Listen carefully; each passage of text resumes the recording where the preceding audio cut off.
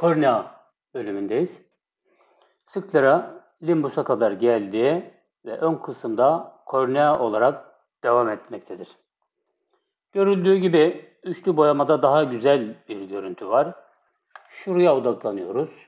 Şimdi burayı bir büyütüyorum tabakaları görmek için. Korneanın belirgin 5 tabakası var.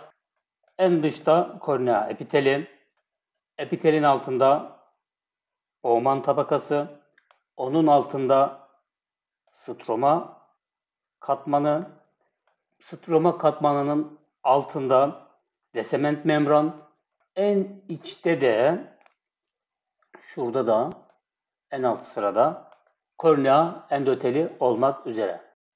Şimdi korneanın bu tabakalarını büyük büyütmede görelim. Kırklık objektif büyütmesinde daha iyi görünüyor. Üçlü bir boyama. En dışta kornea epiteli. Bowman membranı hemen epitelin altında kalınca bir membran.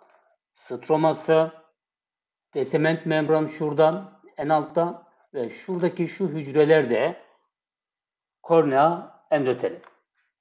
Şöyle epiteli ön plana çıkaralım bir. Evet, korneanın epiteli. Çok katlı yassı görüldüğü gibi. Yaklaşık 6-7 sıra hücre katı içerir. Dış yüzeydeki şu hücreler yassı ve mikrovillüsludur. Birbirlerine dezmozomlar ile bağlantılıdır. Kornea epiteli çok hassastır. Bol serbest sinir uçları bulunmaktadır. Bu nedenle hassastır. Belirgin bir yara iyileşme kapasitesine sahiptir. Epitelin altındaki katman Bowman tabakasıdır. Şu katman kalınca bir katman. Yaklaşık 6-9 mikron kalınlığında tip bir kolajen liflerden oluşmaktadır. Elastik lifler burada yoktur. Şaffaftır. Rejenerasyon yeteneği yoktur. Kornea stromasının görüldüğü gibi en ön kısmındadır.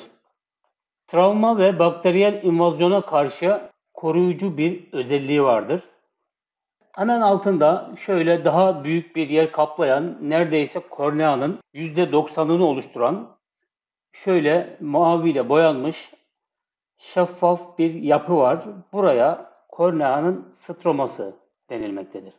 Bu stromada ince tabakalar halinde çok düzenli yerleşimli tip 1 ve tip 5 kolajen lifler bulunmaktadır.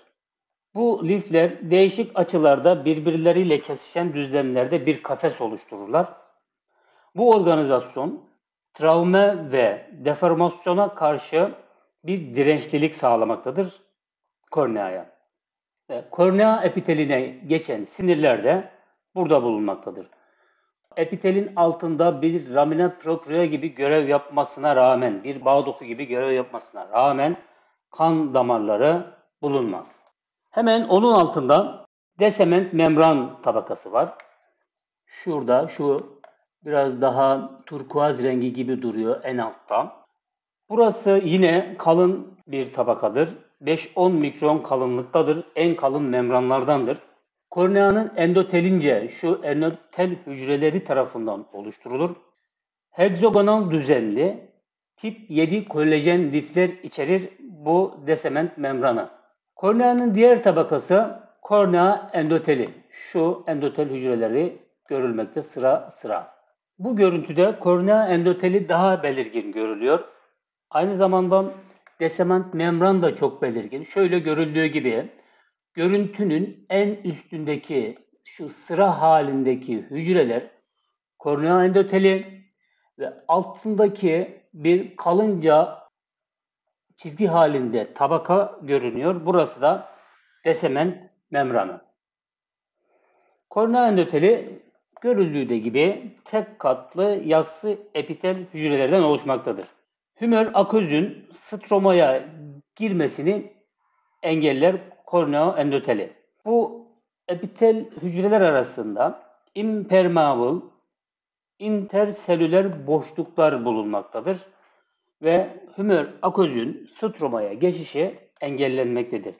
Bu kornea endotelinin yapısal ve fonksiyonel bütünlüğü korneanın şeffaflığı için önemlidir. Evet, kornea endoteli de anlattıktan sonra korneanın tüm katmanlarını bitirmiş olduk. Korneada lenfatik ve kan damarları bulunmaz. Yani avasküler bir organdır. Bu nedenle kornea nakli %90 başarılı olarak gerçekleşmektedir. Sebebi avasküler olmasından dolayı ümmün elemanlar bölgeye gelmezler. Bu nedenle de başarı çok yüksektir. Korneada bu kadar. Diğer sunumumuzda görüşmek üzere.